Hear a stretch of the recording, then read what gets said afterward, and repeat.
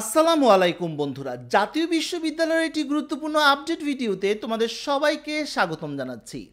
বন্ধুরা, আজকের ভিডিওতে আমরা জাতীয় বিশ্ববিদ্যালয় সাধারণ অনার্সের প্রথম রিলিজ স্লিপে কারা চান্স পাবে না? এবং চান্স না পেলে তোমাকে কি করতে হবে? এবং চান্স পেলে কি করতে হবে? তা নিয়ে বিস্তারিত আলোচনা করব। তাই ভিডিওটি শুরু থেকে শেষ পর্যন্ত দেখা তোমার জন্য অনেক বেশি ইম্পর্টেন্ট বন্ধুরা, তোমরা যদি আমার চ্যানেলে নতুন হয়ে থাকো, অনুরোধ রইল সাবস্ক্রাইব করার। অলরেডি সাবস্ক্রাইব করে থাকলে থ্যাংক ইউ সো মাচ চলো শুরু করা যাক। প্রথমেই আলোচনা করব জাতীয় বিশ্ববিদ্যালয়ের সাধারণ অনার্সের প্রথম রিলিজ স্লিপের রেজাল্ট কবে নাগাদ প্রকাশিত হবে? বন্ধুরা, এটা হচ্ছে জাতীয় বিশ্ববিদ্যালয়ে আবেদন করার ওয়েবসাইট। ওয়েবসাইটটি নিশ্চয়ই তোমাদের কাছে পরিচিত। এখানে আসার পরে তোমরা দেখতে পাচ্ছ রিগার্ডিং ফার্স্ট রিলিজ স্লিপে সংক্রান্ত একটি নোটিশ কিন্তু এখানে অলরেডি পাবলিশড হয়ে গেছে। এখানে যদি আমরা ক্লিক করি, তাহলে আমরা এই নোটিশটি দেখতে পাবো। তোমরা দেখতে পাচ্ছ, এখানে বলাই হয়েছে, আগামী সাতাইশ জুলাই তোমাদের প্রথম রিলিজ স্লিপের রেজাল্ট প্রকাশিত হবে বিকেল চারটায়। ইনশাআল্লাহ এটা নিয়ে আমার আলাদা ভিডিও থাকবে। কীভাবে এই রেজাল্টে চেক করতে হয় এবং রেজাল্টের পরবর্তীতে তোমাকে যা যা করতে হবে সব কিছু নিয়ে আলোচনা করব। এবং তোমরা চারটা থেকেই ওয়েবসাইটের মাধ্যমেও রেজাল্ট চেক করতে পারবে। যদিও এখানে বলা হয়েছে রাত নয়টায়, কিন্তু চারটা থেকেই তোমরা রেজাল্টটি চেক করতে পারবে। পাশাপাশি এখানে যে টাইম ফ্রেমটা বলা হয়েছে, সেটা আমাদের জন্য গুরুত্বপূর্ণ। বলা হয়েছে সাতাইশ তারিখ থেকে, অর্থাৎ সাতাইশ জুলাই থেকে ছয় আগস্ট পর্যন্ত তোমরা অনলাইনে রিলিজ স্লিপে যারা চান্স পাবে, তারা ফর্ম পূরণ করতে পারবে। এবং তিরিশ তারিখ থেকে, অর্থাৎ তিরিশ জুলাই থেকে সাত আগস্ট পর্যন্ত তোমরা সেই ফর্মটি কলেজে গিয়ে জমা দিবে। পাশাপাশি চারশো পঁচাশি টাকা সাথে ভর্তি ফিও তোমাকে দিতে হবে এবং তোমার পেপার সহ জমা দিয়ে ভর্তি হয়ে যেতে হবে। তিরিশ তারিখ থেকে আট আগস্টের মধ্যে জাতীয় বিশ্ববিদ্যালয়ে যে কলেজে তুমি চান্স পেয়ে ভর্তি হয়েছো, সেই কলেজ তোমার কাগজপত্রকে যাচাই বাছাই করবে।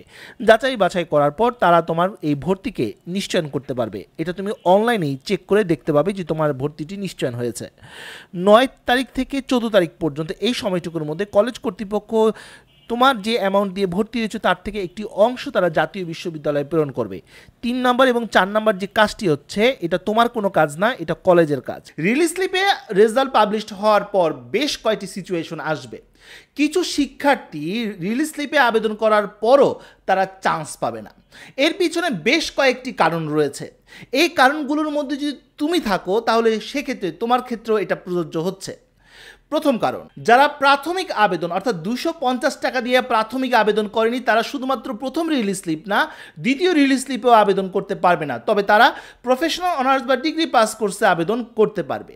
তার মানে যারা দুশো পঞ্চাশ টাকা দিয়ে আবেদন করেনি, তারা নিশ্চিতভাবেই চান্স পাচ্ছে না। দ্বিতীয় কারণ, যাদের জিপিএ কম এবং কম থাকা সত্ত্বেও সরকারি কলেজগুলো সিলেক্ট করেছে, সেক্ষেত্রে তাদের চান্স পাওয়ার সম্ভাবনা খুবই কম বা চান্স নাও পেতে পারে। কারণ সরকারি কলেজগুলোতে অনেক বেশি প্রেশার থাকে, অনেক বেশি জিপিএ প্রাপ্ত শিক্ষার্থীরা সেখানে আবেদন করে, তাই সেখানে অনেক শিক্ষার্থীরাই চান্স পায় না। যা আমরা বিগত বছরগুলোতে দেখে আসছি। তৃতীয় কারণ তুমি জিপিএ কম পেয়েছ, কিন্তু কম পাওয়া সত্ত্বেও সরকারি কলেজে তুমি বিভাগ পরিবর্তনের সাবজেক্টগুলোকে আগে দিয়েছ। সেক্ষেত্রেও তোমার চান্স পাওয়ার সম্ভাবনা কমে আসবে বা চান্স নাও পেতে পারো। যেটা একটু আগেই বললাম, সরকারি কলেজগুলোতে স্বাভাবিক, অর্থাৎ নিজের বিভাগেই যদি কম জিপি নিয়ে আবেদন করো সে চান্স পাওয়ার সম্ভাবনা কম থাকে। আর সেক্ষেত্রে যদি বিভাগ পরিবর্তনের কথা ভাবো, তাহলে তো আর কোনো কথাই নেই। সেক্ষেত্রে চান্স পাওয়ার সম্ভাবনা আরও কম থাকে। চতুর্থ কারণ এই বিষয়টি একটু কমপ্লেক্স কারণ এখানে অনেক ভালো জিপিএ প্রাপ্ত শিক্ষার্থীরাও সরকারি কলেজে আবেদন করবে। এখন আবেদন করার পরও তারা চান্স পাবে না। এখন প্রশ্ন করতে পারো, ভাইয়া, জিপিএ ভালো থাকা সত্ত্বেও রিলিজ স্লিপে চান্স পাবো না? হ্যাঁ এটাও হতে পারে।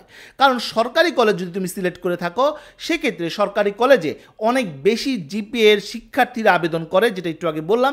তাই প্রতিযোগিতায় টিকতে না পেরে হয়তো তুমি সেখানে চান্স নাও পেতে পারো, ভালো জিপিএ পাওয়া সত্ত্বেও। এমনটা হতেই পারে। তাই অবশ্যই এ ব্যাপারগুলো মাথায় রাখবে। পঞ্চম কারণ। অনেকেই বিভিন্ন কলেজ চয়েস দিয়েছ, অনেক সাবজেক্ট আগে পরে দিয়েছ, কিন্তু সাবজেক্ট প্রতি কিন্তু রিকোয়ারমেন্ট রয়েছে। সেই রিকোয়ারমেন্টগুলো চেক করাটা খুবই জরুরি। বেশ কয়েকটি আগের ভিডিওতে আমি আলোচনা করেছিলাম, জাতীয় বিশ্ববিদ্যালয় বিভাগ অনুযায়ী সাবজেক্ট অনুযায়ী কিছু রিকোয়ারমেন্ট থাকে। যেমন, কেউ যদি ইংরেজি সাবজেক্টকে প্রথমে দেয় বা ফার্স্ট চয়েস দেয় বা ইংরেজি সাবজেক্টে অনার্স করতে চায় এইচএসসিতে ইংরেজির একটা রিকোয়ারমেন্ট রয়েছে।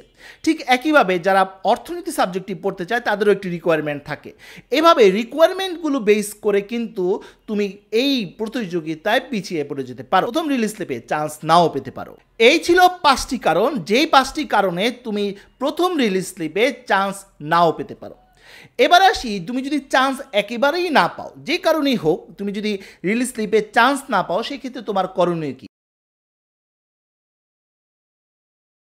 তোমার দুটি কাজ তোমাকে করতে হবে। একটি কাজ হচ্ছে তোমাকে অপেক্ষা করতে হবে দ্বিতীয় রিলিজ স্লিপের জন্য। তুমি দ্বিতীয় রিলিজ স্লিপে আবারও পাঁচটি কলেজ এবং একাধিক সাবজেক্টে তুমি আবেদন করতে পারবে।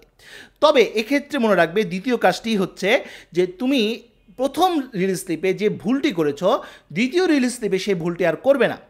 এর আগের ভিডিওতে আমি বারবার বলেছি, অনেক শিক্ষার্থীকেই বলেছি এবং বিভিন্ন লাইভ অনুষ্ঠানেও তোমাদের সাথে আলোচনা করেছিলাম যে প্রত্যেকে যাদের চান্সটা জাতীয় বিশ্ববিদ্যালয়ে খুবই জরুরি, তারা সরকারি কলেজ সিলেক্ট না করে বেসরকারি কলেজ সিলেক্ট করো।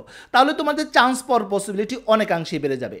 এই বলা সত্ত্বেও বা এতবার বলার পরেও অনেক শিক্ষার্থী হয়তো বা সরকারি কলেজ সিলেক্ট করে দিয়েছে। প্রথম রিলিজ দেবে যদি তুমি এই কারণে চান্স না পাও, যে কারণগুলো আমি ইতিমধ্যে আলোচনা করলাম দ্বিতীয় রিলিজ দেবে, এই ভুলটি আর করবে না। তুমি অবশ্যই তোমার চান্স যদি জরুরি হয়ে থাকে, তাহলে অবশ্যই তুমি বেসরকারি কলেজগুলো সিলেক্ট করো। সেক্ষেত্রে তোমার চান্স পাওয়ার পসিবিলিটি অনেকাংশেই বেড়ে যাবে। তাহলে নিশ্চয়ই তোমরা বুঝতে পারলে চান্স না পেলে কি করতে হবে এবং চান্স না পাওয়ার কী কী কারণ রয়েছে।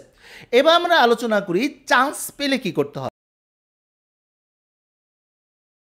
রেজাল্ট দিল, তুমি একটি সাবজেক্টে চান্সে পেয়ে গেলে। এরপর তোমার কাছে দুটি অপশন থাকবে। একটি অপশন হচ্ছে তুমি ভর্তি হয়ে যাও, আর দ্বিতীয় অপশনটি হচ্ছে ভর্তি না হয়ে রিলিজ স্লিপে অর্থাৎ দ্বিতীয় রিলিজ স্লিপের জন্য অপেক্ষা করা। দুটি বিষয় তোমার সামনে আসবে। যদি তুমি ভর্তি হতে চাও, সেক্ষেত্রে আরও কয়েকটি বিষয় তোমার সামনে আসবে। একটি হচ্ছে, তোমার সাবজেক্টটি পছন্দ হয়েছে, কিন্তু কলেজটি পছন্দ হচ্ছে না। তোমার কলেজ পছন্দ, সাবজেক্ট পছন্দ হচ্ছে না। অথবা সাবজেক্ট কলেজ দুটাই পছন্দ হচ্ছে না, অথবা সাবজেক্ট কলেজ দুটাই তোমার পছন্দ হচ্ছে। তার মানে হচ্ছে চারটি সিচুয়েশন তোমার সামনে আসবে। যদি সাবজেক্ট এবং কলেজ তোমার পছন্দ হয়ে থাকে এবং গুচ্ছ বা অন্য যে বিশ্ববিদ্যালয়গুলোতে তুমি পরীক্ষা দিয়েছিলে, সেখানেও তেমন একটি নিশ্চয়তা নেই, তাহলে বুদ্ধিমানের কাজ এটাই হবে জাতীয় বিশ্ববিদ্যালয়ে ভর্তি হয়ে থাকা।